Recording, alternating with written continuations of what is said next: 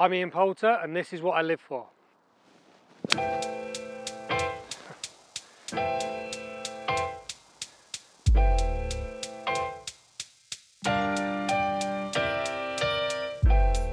Coming home, when you walk through the front door, you kick your shoes off, you feel completely relaxed in the environment you're in, you're around friends and family, it's the best feeling in the world. You want me making a cup of tea? There's nothing like an English cup of tea. Not that I don't like an American cup of tea. I'm not bagging the Americans. I'm just saying that when you make a cup of tea at home, it just tastes different. Proper English tea. No lemon, no honey, English tea. Cheers. Always loved playing pool, I've always loved playing snooker, and this happens to be the 2004 World Championship final table.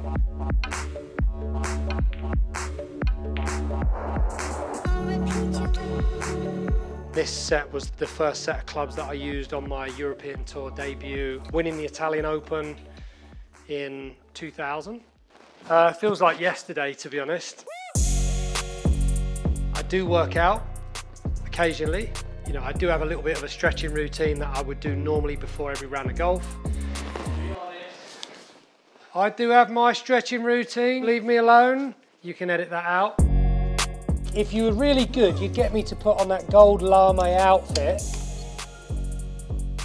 But um, it's in a box in the garage, but you, know, you, you can't have that footage. Because A, I don't fit in the outfit, and B, I'm not, I'm not sure I can pull, pull it off today. In there are some proper rascal outfits that really should never see the light of day. Luke! You always seem to be waiting for your kids. Come on, mate. Any time today would work. And we are off to Centurion Golf Club for, for a game of golf.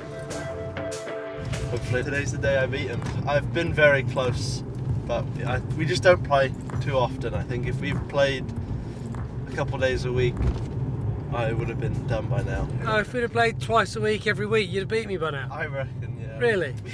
yeah. Oh, we'll see about that.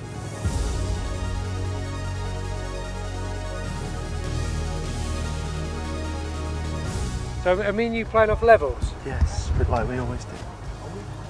Okay, we'll play off levels.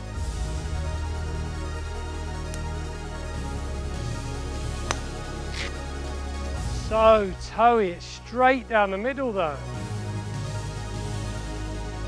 It's really nice to be home. Um, it's really nice to, you know, to play with Luke and enjoy, you know, nice family time. You can't get enough of it. So when you got the opportunity to take it, then, then you definitely want to do that.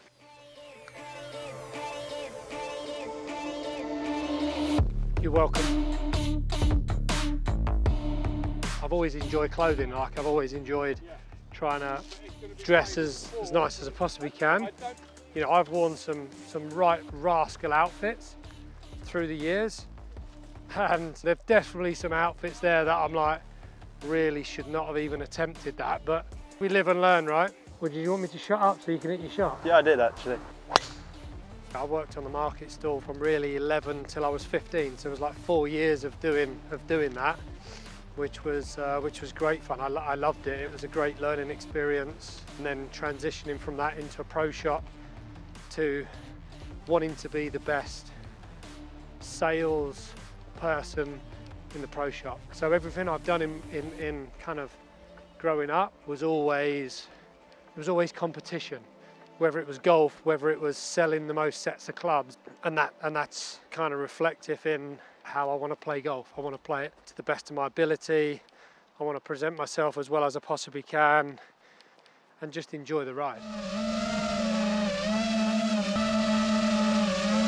A bit disorientating to be honest. I felt like I was in a beehive. Oh, you you you ain't gonna like your lie over there, by the way. You ain't gonna like it.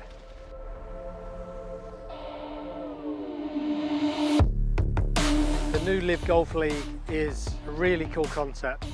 It's a little different from the norm. team format. That's something that I've always loved as a team player, someone that's always thrived on being part of a team. This one up, it's really cool. I like the vision behind it, growing the game of golf. The game is changing and it's cool to be part of that.